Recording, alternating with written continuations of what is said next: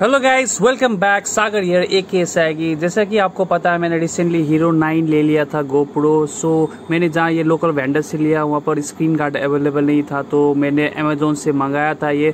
So finally आज ये मेरे पास आ गया है. चलिए देखते हैं. अभी रिसेंटली आया है तो पैकेट देखते हैं कैसा है पैकेट सो पैकेट है और पैकेट में क्या क्या कंटेंट है, चलिए देखते हैं. सो भाई इसका पैकेट को देख के आप धोखा मत खा जाइएगा। मैं भी धोखा खा गया था। मैं समझा था कोई फ़ोन का स्क्रीन गार्ड आ गया है, लेकिन नहीं भाई, ये गोप्रो का ही स्क्रीन गार्ड आया है। तो गाइस चलिए अब देखते हैं बॉक्स के साथ हमें क्या क्या मिलता है। तो फ़र्स्ट हमको मिला है ये गाइड स्टिकर्स और डस्ट रिमूवर और ये वेट वैप्स और ड्राई वैप्स है, जो स्क्रीन साफ़ करने में हमारे हेल्प करेंगे। ये सब तीन तीन क्वांटिटी में है, देखिए तीन तीन क्योंकि हम लोग के पास तीन स्क्रीन है यहाँ पे। ये सबको रख देते अभी साइड पे। और बढ़ते हैं हमारे मेन स्क्रीन गार्ड की तरफ़। जैसे आप देख सकते हो, ये मेरा मेन स्क्रीन गार्ड है जो पीछे की तरफ़ रखता है। काफ़ी अच्छी तरह से। ये रहा पीछे की तरफ़। साइज़ एकदम परफेक्टली फिट हो रहा देख रहे हो आप। तो गाइस ये प्रोडक्ट मैंने काफ़ी रिव्यू देखने के बाद मंगाया था क्योंकि काफ़ी सारे स्क्रीन गार्ड अवेलेबल है, लेकिन साइज़ फिट नहीं हो रहे थे गोप्रो हीरो नाइन के साथ। तो आप ये वाला ले सकते हो। और ये वाला है आपका फ्रंट लेंस की में लेंस का है ये। देखो जैसा कितना परफेक्ट साइज़ है। सो so, चलो गाइस अब बिना टाइम वेस्ट करे जल्दी से इसको इंस्टॉल करते हैं देखते हैं किस तरह से इंस्टॉल होता है ये। सो so चलिए बिना टाइम वेस्ट किए जल्दी जल्दी ये इसको इंस्टॉल करते हैं। उससे पहले ये जो कंपनी का ऑलरेडी ये प्लास्टिक कवर लगा हुआ है इसको निकाल देते हैं। मुझे ऐसा निकालने काफ़ी मज़ा आता है काफ़ी सेटिस्फाइंग है। सो so, पहले हम लोग क्या यूज़ करेंगे? पहले हम लोग यूज़ करेंगे ये डस्ट एब्जॉर्बर ये ऑप्शनल है। अगर आपका स्क्रीन पे ज़्यादा डस्ट है तो ही यूज़ कीजिएगा वरना नहीं कीजिएगा क्योंकि मेरा नया है मुझे ज़्यादा करने का ज़रूरत नहीं है तो मैं इसको अवॉइड कर रहा हूँ। तो अभी है नेक्स्ट प्रोडक्ट नेक्स्ट प्रोडक्ट पे हमें पैकेट पे क्या आया था?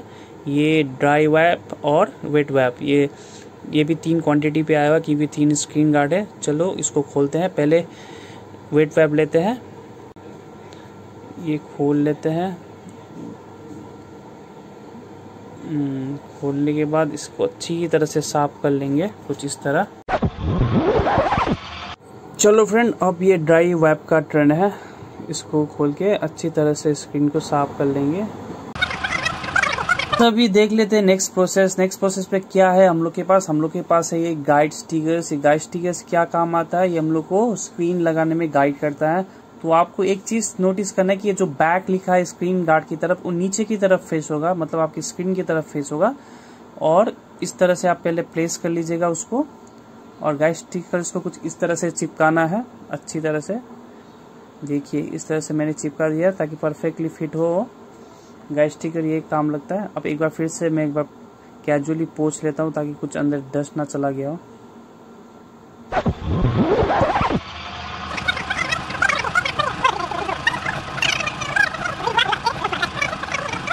सो गाइस अभी आपको क्या करना है? अभी आपको ये बैक के स्टिकर को एकदम धीरे से निकालना है। देखिए, जैसा कि मैं निकाल रहा हूँ। एकदम धीरे से निकाल के अपनी जगह पे रखे। ज़्यादा ज़ोर मत दीजिएगा आप। मैंने थोड़ा ज़्यादा ज़ोर दे दिया था तो क्या हो गया था? पीछे का गाइड स्टिकर क्या हुआ था? निकल गया तब भी। जैसे आप देख सकते पीछे का गाइड स्टिकर मेरा निकल गया है तब भी, लेकिन स्क्रीन एकदम परफेक्टली फिट हो गया।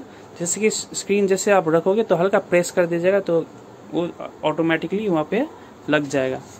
देखिए अब कितनी अच्छी तरह से लग गया है स्क्रीन एकदम परफेक्टली सो फ्रेंड्स आपको सेम प्रोसेस से बाकी के दो स्क्रीन को भी लगाना है। मैं इस पार्ट को स्केप कर रहा हूँ क्योंकि वीडियो काफ़ी ज़्यादा लंबा हो रहा है और मैं नहीं चाहता हूँ कि आप बोर हो तो मिलते हैं थोड़ी देर पे अब।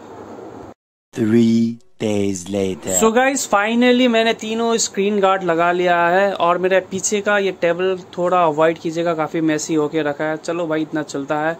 लेकिन भाई स्क्रीन गार्ड लगाने के बाद भी मेरा स्क्रीन काफ़ी स्मूथली फ़ंक्शन कर रहा है। अगर आपको वीडियो अच्छा लगा तो सब्सक्राइब करके ज़रूर जाइएगा। और गाइस मेरे चैनल पे जल्दी ही मोटो ब्लॉगिंग का सेटअप का वीडियो आने वाला है। So keep watching thank you